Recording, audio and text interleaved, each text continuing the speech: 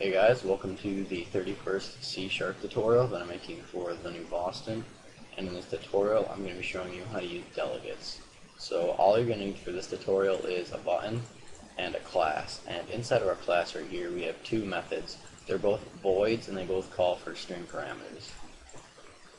So if we wanted to call both of these methods at the same time and pass the same parameters through, we would have to create a delegate. And a delegate is basically um, a list of methods that we can then call all at the same time and pass the same parameters through. So in order to create a delegate, we're just going to type the keyword delegate. And then following that, we're going to want to decide what sort of return type we want um, the methods inside of our delegate to be. So since these are both voids right here, we're going to type void. Now following that, we're going to want to give a name to our delegate. I'm just going to call it my delegate for now. And then following that, you're just going to put parentheses, and inside of these parentheses, you're going to want to type the string or the parameters that you're going to want to pass through. And since these both call for string parameters, we're going to have to put string inside of here. You can name the string anything you want. So in order to add um, methods to our delegate now, they both they have to be voids and they have to call for a single string parameter. So if we had another um, void show message down here that called for an integer instead, well then we wouldn't be able to add this to our delegate because it calls for an integer and not a string. Or if the return type on this was like a string or something like that, then we also could not add it because it is, has to be a void. So now to add methods to our delegate, we're just going to want to um, instantiate our um, delegate or create a new instance of it. So we're just going to do my delegate, and we're going to name our delegate instance. I'm just going to call it MD for my delegate, and then set it equal to a new my delegate. And then inside of here, we're just going to want to put um, a target method. And as you can see right here, it must be a void, and it must call for a string parameter. So we're just going to call this, or put this show message inside of here. And when we're putting it in here, we do not need to put parentheses after it because we're not calling the method, we're simply adding it to the delegate.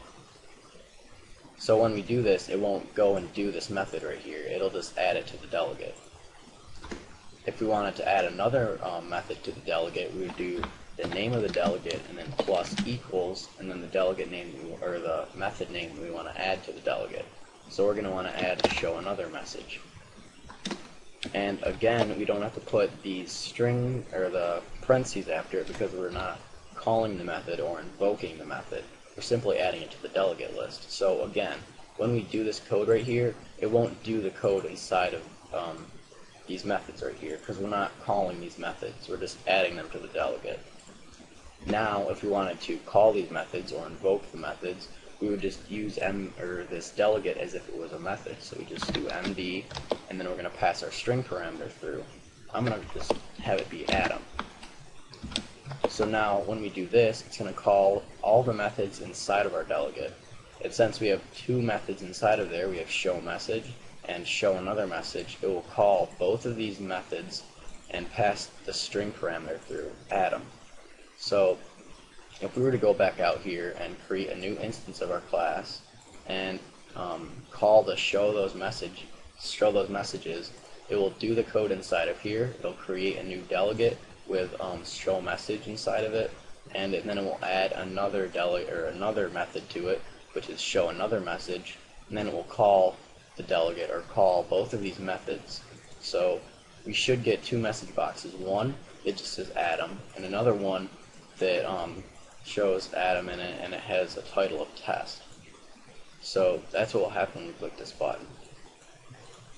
Yep, we got one and two. And as you can see, there's test up there. So delegates are useful if you want to um, call multiple methods and pass the same parameters through. Also, we'll be using delegates a lot more in the next tutorial when, we're, when we look at events. So that's it for this tutorial. So, see you guys.